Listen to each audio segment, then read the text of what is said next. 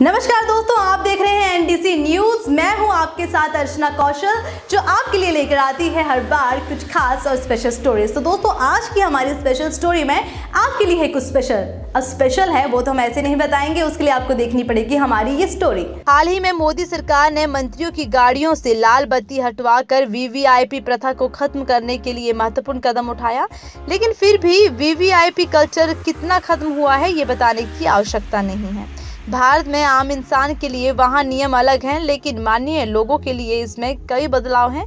जैसे कि आपको बता दें कि भारत के राष्ट्रपति की गाड़ी में नंबर प्लेट नहीं होता। अब शायद आप ये सोच रहे होंगे कि जब देश के हर वाहन पर नंबर प्लेट होना ज़रूरी है तो राष्ट्रपति की कार पर नंबर प्लेट क्यों नहीं होता? आखिर ऐसा क्यों होता है? आखिर राष्ट्रपति के लिए अलग कानून क्यों है? तो आज हम आपको इन्हीं सवालों के जवाब देते हैं। राष्ट्रपति की कार पर नंबर प्लेट क्यों नहीं होता? आपको इसकी वजह जानकर थोड़ी सी हैरानी होगी। सबसे पहले, जरा सोचिए, अगर हम और आप अपनी गाड़ी को बिना रजिस्ट्रेशन नंबर के बाहर लेकर निकालें तो क्या होगा? सबसे पहले, जरा सोचिए, अगर हम और आप अपनी गाड़ी को बिना रजिस्ट्रेशन नंबर के बाहर लेकर निकालें तो क्या होगा?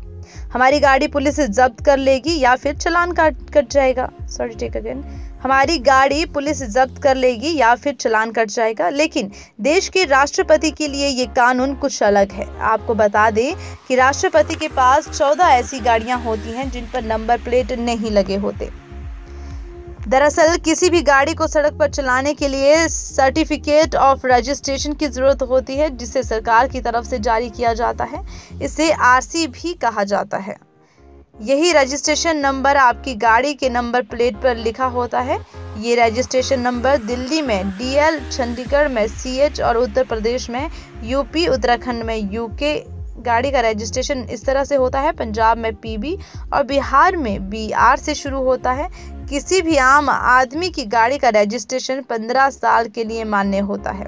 रजिस्ट्रेशन नंबर के बिना कोई भी गाड़ी सड़क पर नहीं चलाई जा सकती, लेकिन राष्ट्रपति की कार पर नंबर प्लेट लगने का कानून थोड़ा अलग है। राष्ट्रपति की कार पर नंबर प्लेट नहीं होता। राष्ट्रपति की कार पर प्लेट क्यों नहीं लगा होता, ये बताने से पहले मैं आपको ये बता दूँ कि अगर कोई व्यक्ति नई गाड़ी लेता है तो उसे रजिस्ट्रेशन नंबर जारी होना तो ज़रूरी होता है और एक टेम्परेरी रजिस्ट्रेशन नंबर भी जारी किया जाता है।